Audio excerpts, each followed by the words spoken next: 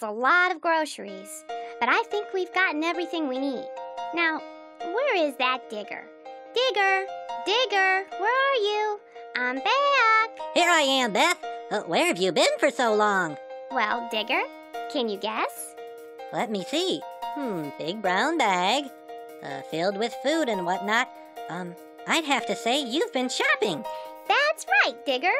I've been with Mom at the grocery store to buy these supplies for our. Ooh, eggs. I bet those are for the Easter egg hunt we're having this Sunday. You're close, Digger. These are eggs for a celebration, but they're not for Easter. They're for another holiday we're celebrating tonight. Another holiday? Oh, that's great. Why didn't anyone tell me there was another holiday today? Perhaps someone has, Digger. Have you heard anyone at school or at church say that today is Maundy Thursday? Monday, Thursday? No, I think I'd remember someone saying that. Monday, Thursday. That sounds really silly. Does that mean we pretend it's Monday, even though it's Thursday? Digger, I didn't say Monday, Thursday. I said Maundy Thursday. Or some people call it Holy Thursday. It's the night that we remember when Jesus ate with his disciples for the last time before he was arrested and taken to be crucified. Oh my. Well, that doesn't sound silly at all. And it sure doesn't sound like a reason to celebrate. Oh, but it is, Digger, because we know that Jesus died and rose again to take away our sins. But I don't want to get too far ahead of myself. That celebration is for Easter. So, what are we doing tonight, Beth? Well, tonight we're going to have a very special meal. The same meal that Jesus and his disciples were having on that night so many years ago. Golly, the same meal? But how do we know what Jesus and his friends were eating that night? Oh, that's a good question, Digger. On that night, the Bible tells us Jesus and his friends were having a celebration too. They were celebrating the Feast of Passover. It's a very special feast with some very special and very specific foods to eat. Passover. Passover. What a strange name for a feast. Passover. Oh, I get it. Like pass over the potatoes. I'm hungry. Not quite, Digger. I think I've heard of Passover, Beth. When I asked some of my friends at school what they were going to do for Easter, they told me that they were going to celebrate Passover instead. Your friends are probably Jewish. Passover is a tradition that the Jewish people have been celebrating for 4,000 years. But it's also a very important celebration for Christians like you and me. And when we celebrate Passover, it can make our Easter celebration even more special. How can I celebrate Passover, Beth? First, you'd probably like to know just what the Passover celebration is all about. It all began in the country of Egypt. Down in Egypt many years ago, the Israelites toiled enslaved till God sent Moses so they all would know that soon they would be saved. The king of Egypt was a stubborn man. He would not let them go. But God sent Moses with a better plan to deal with old Pharaoh.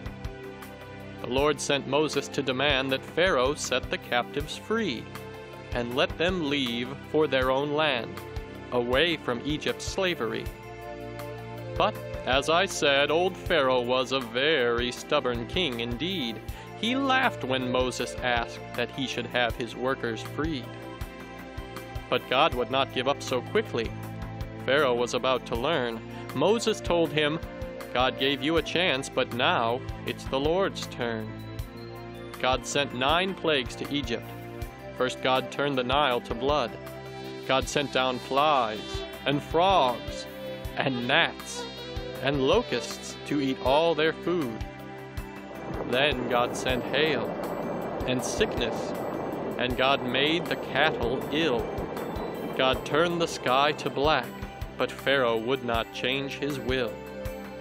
Then Moses spoke to Pharaoh again, God's giving one more chance. Can all God's people now go free? Said Pharaoh, No, they can't. With that, Moses turned around and walked out toward the street. I think you'll sing a different song the next time that we meet. God said to Moses, Pharaoh has refused for the last time. I'm sending one last plague that's sure to turn his stubborn mind. Tell every tribe of Israel to hurry and prepare for one last meal in Egypt. Then I'll lead them far from there. Oh no, Beth. What are the Israelites going to do? Didn't you hear the story, Digger? They're going to do the same thing we're doing tonight. They're going to prepare a meal. But how is eating going to help them escape from that mean old Pharaoh? It's all a part of God's plan, Digger. You'll just have to trust God, just like Moses and the Israelites did. And in the end, you'll see that God had the perfect recipe for an escape plan. Oh, I don't think I can wait to find out. Just remember, Digger, the Feast of Passover is a celebration. We already know that God freed the Israelites from slavery in Egypt. We're having this special meal called the Seder meal to remember and celebrate that wonderful night. Oh, well, why didn't you say so, Beth? I was so worried. That's okay, Digger. Here, you can calm down by helping me get ready for the Seder meal. I have all the things we need right here. Are they special things, Beth? They certainly are, Digger. The Seder meal is a family meal, just like many others that we share at home. But there are some very specific and some very strange foods that are eaten at the Seder meal, which make it a little bit different. It sounds like someone is being picky. Not picky, Digger, just special. Because these foods all help to tell the story of the first Passover. We're going to eat talking food? Storytelling food, Digger. But don't worry, your food won't talk back to you. well, so what do we have? Well, some of the important things we need for the Seder meal are wine, a bowl of water, parsley, a bowl of salt water, a hard boiled egg, and some bitter herbs. I'm using horseradish for my bitter herbs. Um, Beth? Yes, Digger? I think I'll skip the Seder meal if that's okay. Oh, I know it doesn't look like a very tasty meal, but trust me, you'll like it. Well, okay. Oh, I almost forgot two most important things. Here, we have some unleavened bread. That's bread? It looks like a big cracker. I'll explain that later, Digger. And here's our most important part lamb stew. Wow, now that smells good. I think I might like this Seder meal after all, Beth. I thought you might, Digger. But why is the lamb stew so important? Like I said, Digger, our meal tells the story of the Israelites' escape. And a meal of lamb and flat bread was the secret to God's escape plan. God had the perfect recipe for making the escape. He told his servant Moses, Here's precisely what to make. Tell every Israelite family that God has sent the word. Each household needs to pick a lamb, the finest in the herd. This lamb will be your dinner. Every house will have just one. Don't make too much, for you must eat it all before you're done. If you obey the Lord's command and share this special meal, then you will all be freed, and Pharaoh will know God is real. And when that happens, you must all be set to leave at once. Here's how you all can be prepared to go when the time comes. The bread that you will eat tonight should not be made with yeast. You won't have time to let it rise before this hurried feast and dress in only travel clothes, with sandals on and tied. Pack up the things you want to take, you all will leave tonight. And here's the most important part, the part you must not miss. Save all the blood from these young lambs, it must be used like this. You all should spread the blood upon the mantles of your door. This blood will be a sign to show which houses serve the Lord. For late tonight the Lord will send the last and greatest plague, and only houses marked with blood on doorposts will be saved. A messenger from God will come to each Egyptian home to bring a sad and dreadful message like you've never known. But if your home is marked as God has told you all to do, the messenger will pass you by, and you'll be safe. It's true. Now do you see why the lamb is so important, Digger? Boy, oh boy, do I. The blood from the lamb is God's special mark. That's right. The blood from the lamb marked the houses where God's people, the Israelites, were waiting for their escape. The people in the houses marked with God's special signal were passed over when God sent his final plague to Egypt. That's where the name Passover comes from. Oh, I'd been meaning to ask you that, Beth. Well, Digger, if you're ready, the table is set and we're about to start the Seder meal. Are you kidding? Sure, I'm ready. Just lead the way. Here we are, Digger, and here's a seat just for you. Somebody put a pillow in my chair. We relax on a pillow to eat because back in Egypt, the Israelites had to eat their meals standing and ready to go. Ooh, soft. Wow, it's beautiful. And boy, am I hungry. Wait, Digger! Ah! Oh, sorry, Digger, but there is a very specific order of doing things in the Seder meal. Everything that we eat and everything that we do has a very special meaning. You'll have to wait until I tell you that you can eat, and what you can eat, and in what order you can eat it. Oh, I knew there was a catch. Come on, Digger, it's a celebration. This'll be fun. oh, all right. That's the spirit, Digger. We start the meal by lighting these candles and saying a prayer. Baruch Atah Adonai Eloheinu. Beth, I don't know what you're saying. I'm saying a prayer in the Hebrew language, Digger, the language of the Israelites. It means, Blessed are you, O Lord our God. Oh, I like that. Baruch Barakata Adonai. Oh. Baruch Atah Adonai Eloheinu. Blessed are you, O Lord our God, ruler of the universe, for you have kept us alive and sustained us and brought us into this season. May this place be made holy by the light of your presence. Amen. Now we wash our hands. Okay, but you should have told me that before I came to the table. Digger, we'll do it right here. Oh. That's what these little cups of water are for. Dip your fingers in and wipe them on your napkin. Hey, that saves a lot of time. Blessed are you, O Lord our God, ruler of the universe, for you have blessed us with your commandments that we might serve you with holy hands. There's a lot of praying, isn't there, Beth? There sure is, Digger. Now dip your parsley in the salt water, right there. You mean like this? That's right. The green parsley is a symbol for springtime, a joyful time of rebirth, just like the Israelites felt when they left Egypt. But along with that joy came the many years of salty tears. That's what the salty water stands for. Wow, this food really does tell a story. It sure does, Digger. Do you remember this food? That's the bread. The bread that God told Moses and the Israelites to make. But I can't remember why it's flat. This bread is made without leaven, or without yeast, because God knew that when Pharaoh made up his mind to let the people go, there wouldn't be time to let the bread rise before baking it. And that's just what happened. After the tenth plague, Pharaoh told Moses and the Israelites to go, and they left right away. Pharaoh set the people free. Moses led them to the sea. Pharaoh told his army men, Bring those people back again. Moses saw the army come. Moses said, It's time to run. But the people said, Oh no, there is nowhere else to go.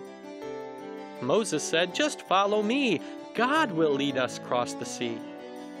Moses bowed his head to pray. He knew God would show the way. God told Moses what to do. Moses split the sea in two. Moses and the mighty crowd crossed the sea on solid ground. Pharaoh chased with all his might. Water washed him out of sight. All the people got away. They gave thanks to God that day. Well, we've met most of the food on our plate, and now it's time for you to do something special, Digger. Really, Beth? Oh, what is it? What do I get to do? You get to ask questions, Digger. Oh, but I've been doing that all night. You certainly have, and now you have a chance to ask many of those same questions again. But the fun part is, we already know the answers to most of those questions. Here, I've written them down for you. Why is this night different from all other nights? Why do we only eat unleavened bread? Why do we eat only bitter herbs? Why do we dip our parsley? Why do we eat while reclining on pillows? Hey, I, I, I do know the answer to those questions. It's all in the story of the Israelites' escape from Egypt. That's exactly right, Digger. And at this point in the meal, the story of their escape is read from the Bible. Oh, is that what we're going to do now? We've already listened to most of the story, so now we're going to sing a song about it. Sing a song at dinner? I told you this was a celebration, Digger. And there's always singing at a celebration, right, Beth? Well, I certainly think so, Digger. This song is called the Dayenu. The die what? The Dayenu. That's a word that means it would have been enough. We're singing a thank you song to God that says it would have been enough for you to just have set the Israelites free, but you did all kinds of other wonderful things too. Dayenu. Dayenu. Hey, that sounds kind of fun. I think you'll find this song sounds like a lot of fun. What if God who set us free from Egyptian tyranny? What if God who set us free had not opened up the sea? Open sea, set us free.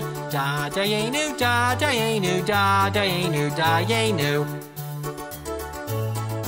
What if God who set us free and who opened up the sea had not led us hand in hand cross the sea on solid land? Solid land, hand in hand, open sea, set us free. Da dayenu, da dayenu, da dayenu, da yenu.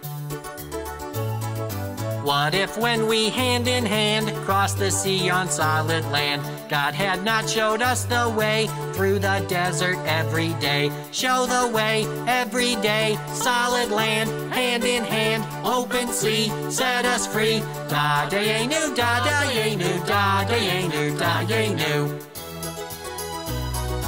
What if when God showed the way in the desert every day had not spoken from on high on the mountain Sinai? From on high, Sinai, show the way every day. Solid land, hand in hand, open sea, set us free. Da dayenu, da dayenu, da dayenu, da yenu. What if God who spoke on high from the mountain Sinai had not at our journey's end brought us to the promised land? Journey's end, promised land, from on high, Sinai, show the way every day, solid land, hand in hand, open sea, set us free. Da dayenu, da dayenu, da dayenu, da yenu, da dayenu, da dayenu, da dayenu, da yenu. that was fun, Beth. But there are some things here that you haven't mentioned yet, like these eggs and that yummy smelling lamb stew. Right, Digger. And now is a good time to talk about them. The eggs we eat at the Passover meal are very much like the eggs we color and hide at Easter. I knew it! Both Easter eggs and the eggs eaten at Passover are reminders of a new life. At Passover, we think of the new life that the Israelites had away from slavery in Egypt, and at Easter, we think of the new life we have because Jesus rose from the dead to free us from our sin. Jesus freed us from slavery too. You've got it, Digger! Look here, this is the bone from the lamb I used in the stew. Do you remember what is special about the lamb? It was the lamb's blood that uh, marked the houses of God's people, the Israelites. That's great, Digger. I'm very proud of you. The lamb's blood was used to save the lives of the Israelites. Pray with me. Baruch atah Adonai Eloheinu. Blessed are you, O Lord our God, ruler of the universe, for you made us holy with your commandments and protected us by the blood of the Lamb. You were right, Beth. This meal really does tell a great story. A story of danger and, and of narrow escape and danger and, and intrigue and danger and, and victory. I'm glad you like it, Digger. But there's something even better about Passover that I haven't told you yet. Even better? You mean dessert? Not dessert, Digger, but good news. For you and for me and for all of God's people. Oh, tell me, tell me, tell me. The good news is that God has rescued us as well, just like the Israelites. Rescued? Rescued from what? The Pharaoh? We've been rescued from sin and freed from death, and we'll all be led to the promised land in heaven to be with God forever. We have? But how? When? By, by who? By Jesus, the Lamb of God, who gave us his life just like the Passover lamb to protect us and free us and save us and to give us everlasting life. Now, that is a reason to celebrate. This is the feast of Passover, said Jesus with delight. Let's find a place where we can go and celebrate tonight. They found a room up many stairs, the perfect place to meet. They gathered round a table there, filled up with things to eat. The twelve disciples looked around. They saw some bread and wine. The twelve of them were hungry. They could hardly wait to dine. Then they sat down together to enjoy the food galore. They ate a meal of lamb and bread, just like in years before.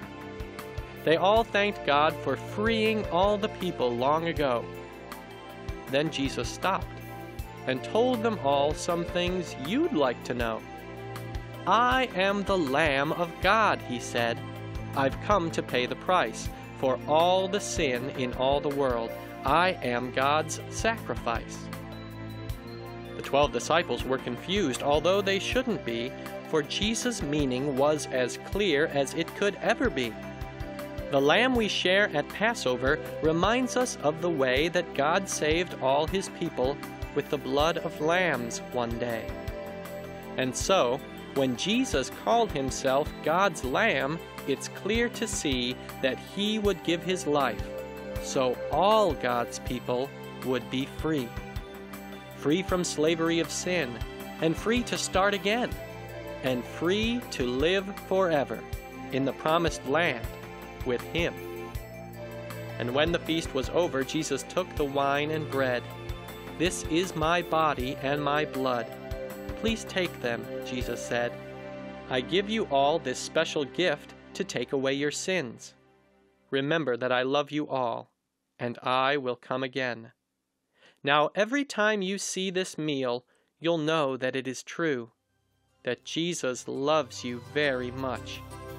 He died and rose for you. This was a super meal, Beth. I want to celebrate Passover every year. Well, you can, Digger. There's nothing wrong with celebrating Passover. It's a great way to remember one of the most wonderful miracles of the Bible how God freed the Israelites from slavery in Egypt. And it reminds us how Jesus freed us from sin. Hey, that reminds me. I still have some hard boiled eggs left over. Is it too early to start celebrating Easter? Oh boy! Happy Passover, Digger. Happy Passover!